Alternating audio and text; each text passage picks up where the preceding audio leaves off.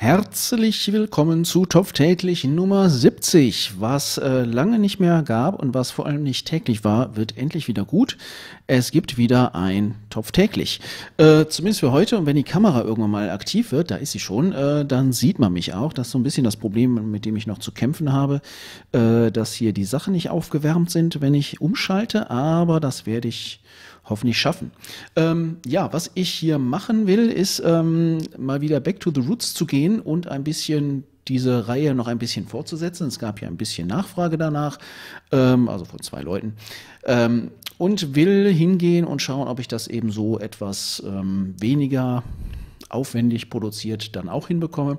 Das macht im Zweifel auch nicht so viel Sinn. Äh, es macht zwar Spaß, aber es dauert halt ewig lang. Und ähm, hm, zum Mund. Und es ähm, ist vor allem dann nicht täglich, wenn man das so macht.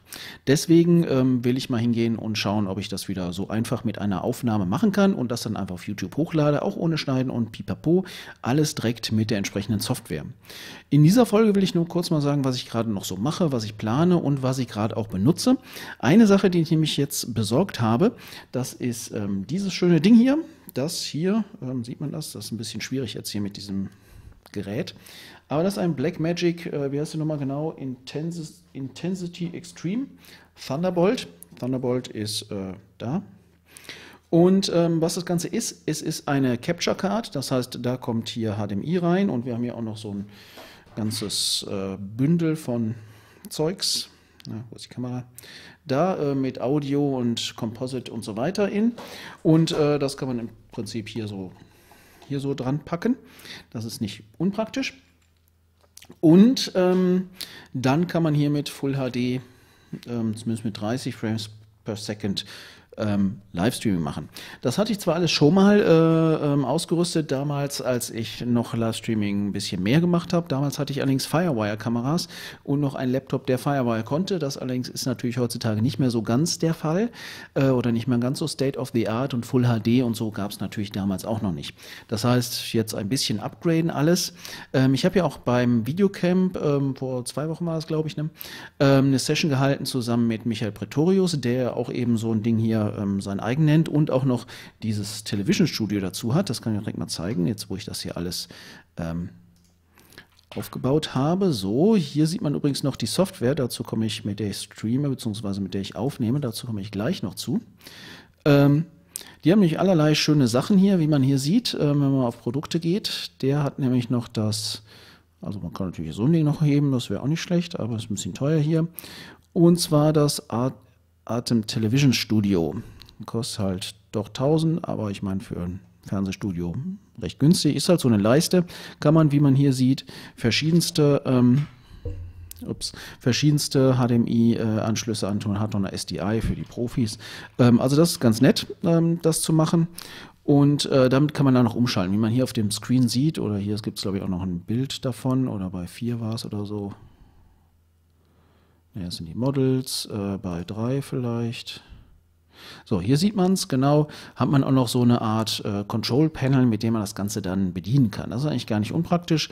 Ähm, Allerdings ähm, werde ich das jetzt nochmal nicht holen, weil ich es im Moment noch nicht so sehr brauche. Wenn man natürlich mit drei, vier Kameras oder so arbeitet ähm, und noch diversen Einspielern und so, dann macht das sicherlich Sinn. Wie man hier sieht, hat man noch diverse äh, Transitions und, und Pipapo.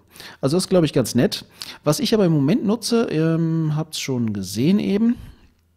Das ist nämlich, äh, wo habe ich es hier? Ähm, das kommt nochmal weg hier. Jetzt habe ich es wieder zugemacht. Hier obsproject.net. Und ähm, das muss auch mal weg. Das ist eigentlich ähm, für Spiele gedacht.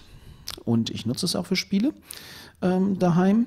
Und das ist eine Software, die im Prinzip sowas wie XSplit ist, wer das kennt, oder Wirecast. Nicht ganz so ausgereift vielleicht, vor allem wie Wirecast. Ähm, aber was es im Prinzip erlaubt, wie man hier sieht, ist, ich kann meinen Desktop streamen, relativ gut sogar, weil das Ganze ist ja auf Spiele ausgelegt. Und der Vorteil ist natürlich äh, bei Spielen, ähm, oder der, der, das Problem bei Spielen ist, dass natürlich da es wirklich auf Details ankommt und da will man natürlich auch in äh, 1080p, also Full HD streamen und vielleicht sogar noch mit 60 Frames per Second und das Ding schafft das hier im Prinzip. Das kann man halt mit einer ähm, mit einem ähm, Desktop Capture machen oder Monitor Capture. Man kann auch einzelne Fenster capturen. Man kann sich hier so Szenen, wenn man hier schaut, kann sich hier so Szenen Hier ist jetzt nur eine Source drin, aber ich könnte zum Beispiel jetzt noch hier meine Kamera wieder dazu nehmen hier. Die habe ich jetzt globale Source reingetan, kann ich hier nennen.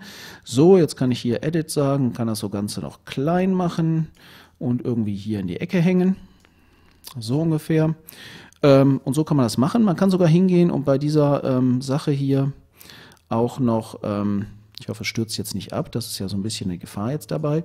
Man kann zum Beispiel auch noch Chroma Keying machen dann sieht man halt hier, werden halt Sachen rausgenommen. Wenn ich also jetzt einen grünen Hintergrund hätte, könnte ich mich hier noch komplett vor das Bild setzen, ähm, was vielleicht auch nicht schlecht ist. Muss natürlich entsprechend ausgeblendet, äh, ausgeleuchtet werden und so weiter. Man kann jetzt hier noch ein bisschen das hochsetzen, dass immer mehr ausgeblendet wird und dann sieht das ganz toll, tollstens aus. So, das machen wir mal nicht. So, und das machen wir wieder weg, weil ich das gerade nicht wollte. So, also das heißt, äh, OBS ist eigentlich ganz nett. Vor allem was ähm, bei Chemtrails kann man ja ähnliches machen auf Mac. Ähm, nur hier unter Windows mit dem Ding äh, hat man den Vorteil, dass man, auch wenn das Fenster nicht aktiv ist, man hier mit Hotkeys noch zwischen den einzelnen Szenen umschalten kann. Das ist halt sehr praktisch, äh, weil meist ist das Ding eben nicht aktiv. Mit Chemtrails geht das vielleicht irgendwie mit irgendwelchen äh, Tricks dann auch, aber halt eben nicht so praktisch.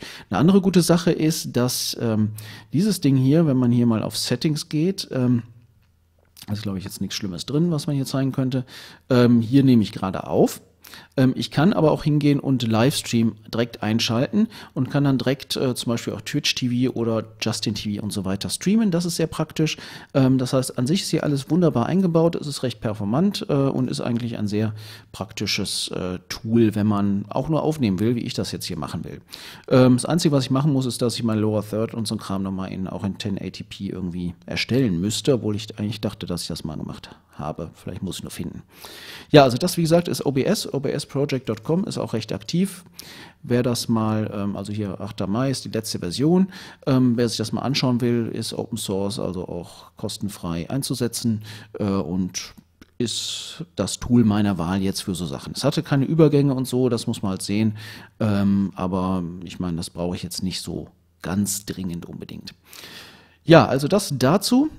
Ähm, dann vielleicht noch, was ich so alles ähm, noch demnächst oder jetzt mache und machen will. Äh, und zwar will ich wieder ein bisschen mehr bloggen und zwar ein bisschen mehr im Bereich Technik auch, ähm, weil ich mich da ja doch ein bisschen mit beschäftige und dann kann man das natürlich auch mal aufschreiben.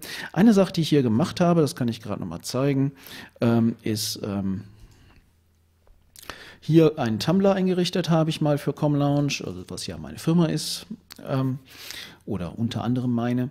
Ähm, und da packe ich im Prinzip so ein paar Links rein, kommentiere die ein bisschen, äh, versuche auch mehrere Links am Tag da reinzupacken. Mal sehen, wie lange ich das jetzt durchhalte. Ähm, es heißt auch, glaube ich, ComLaunch täglich. Ähm, hier ist es einfacher zu ändern. Wenn ich mal denke, es klappt nicht mehr so, mache ich halt Com ComLaunch jährlich oder so draus. Mal schauen. Ich hatte auch schon mal einen Blog eingerichtet, das gibt es auch schon ein bisschen länger ähm, mit WordPress, aber WordPress ist halt immer so ein bisschen groß. Das ist mein Problem. Ähm, wenn man halt, ähm, sag mal, schnell was machen will, ist WordPress immer ein bisschen zu, zu zu viel Act.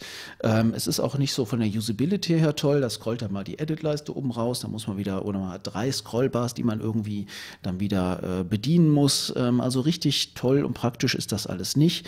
Ähm, das heißt, Tumblr ist da schon was besser. Und was ich mir jetzt noch wünschen werde, ist so ein Mittelding oder dass man was einfach machen kann, aber wenn man es was mehr schreiben will, dass man das dann auch einfach hinkriegt und vielleicht noch ein paar Plugins und so weiter einbauen kann. Und da überlege ich, ob ich jetzt auch noch ein bisschen was schreibe, ähm, aber natürlich natürlich habe ich so viele Ideen, was ich mal alles machen könnte, dass ich dazu wahrscheinlich nicht kommen werde, aber ähm, ist vielleicht auch nicht ganz so schlimm. Aber Tumblr tut es jetzt erstmal, ich glaube, besser als das hier. Aber für alle Fälle, wer interessiert ist ähm, an Technik und so weiter, wie gesagt, hier ist jetzt ein bisschen äh, ähm, Unix. Hier wird es wahrscheinlich nicht ganz so technisch, nehme ich mal an. Ähm, das werde ich wahrscheinlich eher auf den Tumblr packen. Und hier werde ich jetzt eher so äh, generelle Sachen vielleicht reinpacken. Mal gucken. Also was wir hier drin haben, ist zum Beispiel noch Tutorial, gemeine Grenzen, wie man halt ähm, aus einem Shapefile, ähm, wie man die auf einer OSM-Karte darstellt. Ich hoffe, das ähm, Beispiel gibt es auch noch hier. Komplettes Demo. Mal gucken, ob das geht. Und es geht noch. So. Also sowas wäre halt drin als Beispiel. Ähm, über OpenNRW, genau, da gibt es jetzt auch die Doku, muss ich auch noch einpacken. Also all solche Sachen will ich jetzt hier mal machen. Wer also interessiert ist, comlaunch.tumblr.com, das werde ich auch nochmal eine andere Domain draufpacken, glaube ich. Und blog.comlaunch.net sind, sind im Prinzip die Adressen, wobei ich das hier nochmal verlinken sollte. So, dann ist jetzt Freitag und am Wochenende geht es nach Düren. Das ist jetzt nicht ganz so weit, zumindest nur halb so weit wie nach äh, Köln. Und ähm, jetzt weiß zum Beispiel gar nicht, welche Szene gerade aktiv ist. Ah, ich war aktiv. Sieht man mal. Ähm, das ist das Problem, wenn man nur einen Monitor hat, dann sieht man nämlich nicht, was man gerade sendet. Deswegen mache ich das Ganze nochmal äh, und zeige euch, äh, mache jetzt nicht die Aufnahme nochmal, sondern zeige jetzt einfach nochmal, ähm, was ihr hier hättet sehen können. Also das wäre jetzt der Tumblr hier. Und ähm, wie gesagt, comlaunch.tumblr.com und im Blog, äh, wie gesagt, hier ein bisschen technisch und hier noch meine Session auch zum Livestream. Wer die nochmal äh, anschauen will, äh, mit Michael zusammen, blog.comlaunch.net. Und ähm, danke an der Knopf noch, äh, der das aufgenommen hat und auf YouTube gestellt hat. Hier ist dann auch noch dieses Tutorial zu den Gemeindegrenzen, äh, wie man die aus hier den Daten des Innenministeriums im Prinzip auf einer OpenStreetMap darstellt. Und das Demo will ich auch nochmal zeigen. So, da ist das Demo auch noch. So, jetzt habt ihr alles gesehen.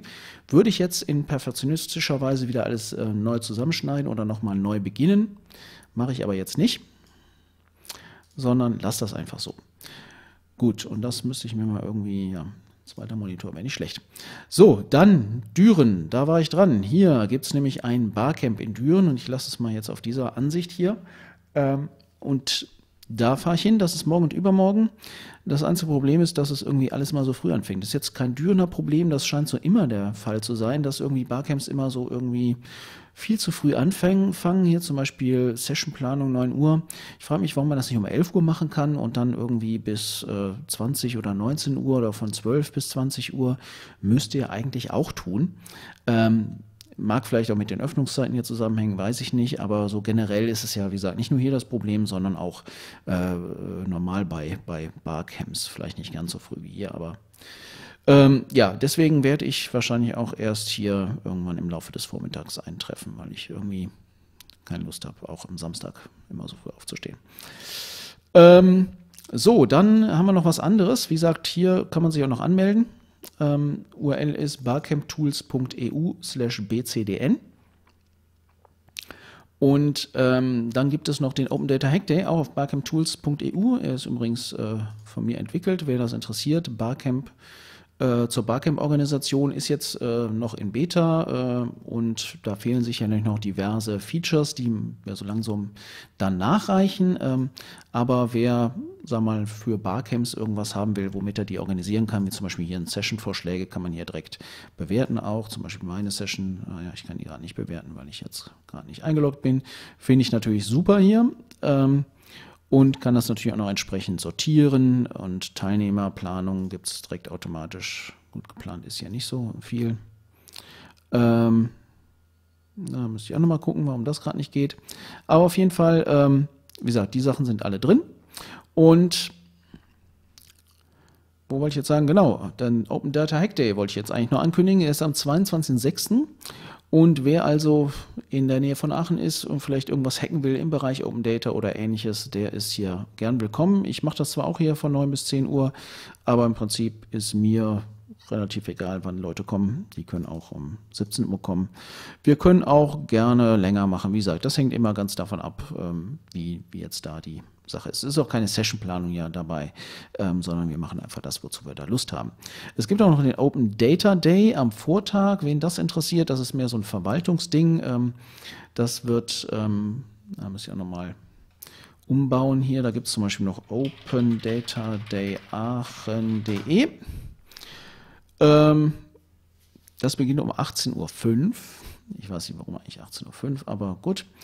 Und ähm, ja, es gibt halt Vorträge, Interviews und irgendwelche Podiumsdiskussionen. Also jetzt vielleicht nicht ganz so spannend, aber ist halt auch mehr für die Verwaltung gedacht, die vielleicht da so ein bisschen ähm, angefixt werden soll, was man denn damit machen kann. Also Julia Kläuber von der Open Knowledge Foundation kommt, Marian Steinbach äh, von offenesköln.de kommt. Also ähm, das sollte schon mal ganz gut sein. Die sollte hier, den hatte ich schon mal letztes Mal vorgeschlagen, letztes Jahr, aber da war es gerade zu Zeiten der ähm, Republika und da ist natürlich immer schlecht, äh, wenn man da Leute einlädt.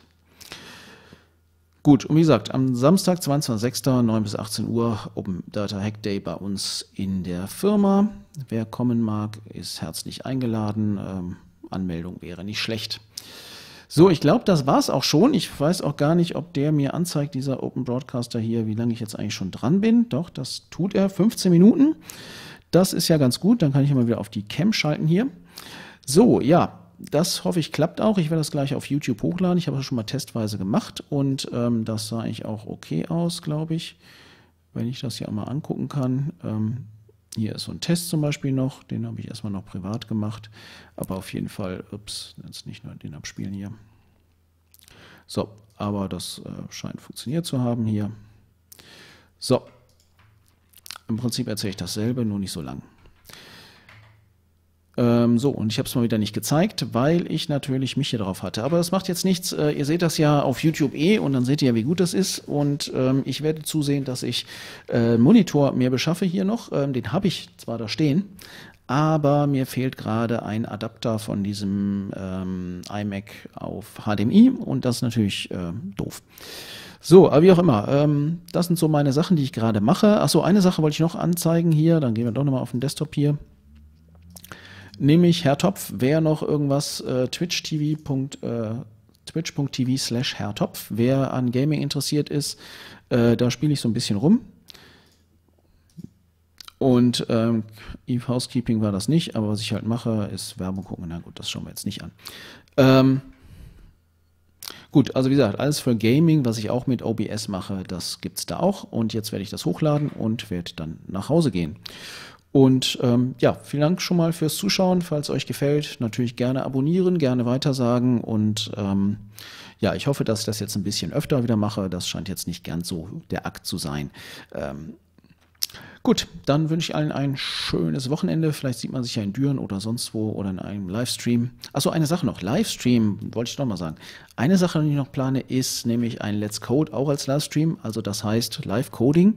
Ich habe das mal gemacht auf Twitch TV. Da habe ich Eve, ähm, ähm, die Eve API angezapft. Also Eve Online ist ja ein Spiel und die haben auch eine API, die man nutzen kann, beziehungsweise die Daten. Äh, es gibt so einen Datendump mit all den Sachen, die dem Spiel drin sind, die, den man nutzen kann. Und das habe ich da ein bisschen bearbeitet. Da hatte ich immerhin, glaube ich, so, weiß ich, fünf bis zehn Leute, die zuguckten. Und ich bin sogar beim Videocamp angesprochen worden, ob ich das nicht nochmal machen würde. Ähm, und ähm, das werde ich, glaube ich, tun, vielleicht auch regelmäßig, vielleicht jetzt nicht so im Spielbereich unbedingt, ähm, sondern ich kann mir vorstellen, dass zum Beispiel das Barcamp-Tool dann live weiterentwickle, vielleicht auch noch ein bisschen Feedback ja kriege, was man besser machen könnte oder nicht. Also Sachen, wären ja denkbar. Das werde ich dann auch irgendwie unter ComLaunch verorten. Wahrscheinlich mache ich noch einen YouTube-Channel auch für ComLaunch, weil ich auch an Tutorials und ähnliches vielleicht auch nochmal gedacht habe, äh, dass ich sowas ja mal wieder machen könnte. Wenn das alles aufgesetzt ist, ist das auch alles gar kein Problem. Muss halt ein bisschen vorbereiten. Äh, nur ist ja immer das Problem so alles drumrum, bis dann alles hochgeladen ist, bis alles läuft und so weiter. Das sind so eher die Sachen, die langwierig sind, die nervig sind und äh, aus, die dann halt die Gründe sind, warum man das nachher nicht mehr macht. Das versuche ich, wie gesagt, gesagt, etwas zu verbessern. Okay, aber jetzt wünsche ich ein schönes Wochenende und sage äh, bis nächste Woche, hoffe ich mal. Und ähm, ja, bye bye.